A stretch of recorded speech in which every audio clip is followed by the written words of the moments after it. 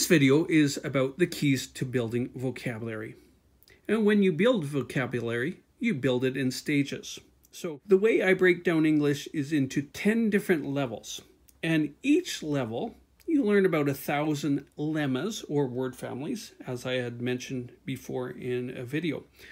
So word family, um, if you're talking about a noun, that would be both a plural and singular form of that word if you're talking about an adjective, big, bigger, biggest, that would be one word family, and, and all the tenses for verbs. So those are some examples. So your goal is 10,000 words in total, if not more. Let's say you're an intermediate learner, you probably learned around 5,000. So, you know, you could shoot to learn 5,000 more words. And so how should you learn? So research is clear that the best way to learn is engaged learning, something that's interesting, fascinating, humorous, those type of things. That's how you learn best. That's how you remember best.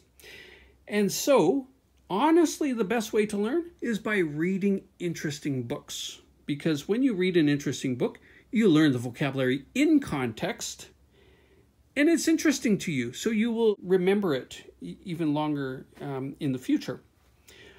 I'll give you an example. Let's say you had a book and you read 25 pages per day and you learned two new words for each page. Well, you've just learned 50 new words. Now, here's the key. The key is to practice those words in seven different scenarios. So let's say either you talk to another person, or if there's not another person to talk to, um, speak it out loud um, in different scenarios uh, even if you're at home in the mirror, whatever situation you might be in. Because here's the thing if you say a word in seven different scenarios, you're going to remember it, it's going to stick. Now, the thing with vocabulary is it's not just words, there's idioms, there's phrasal verbs, there's collocations as well that are important uh, when it comes to learning vocabulary. And those are uh, different aspects that we're going to look at in future videos. You could learn with flashcards, but they're not as effective as if you were reading an in interesting book, that's for sure.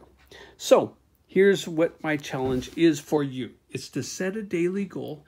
How many words do you plan to learn every day in order to reach your goal?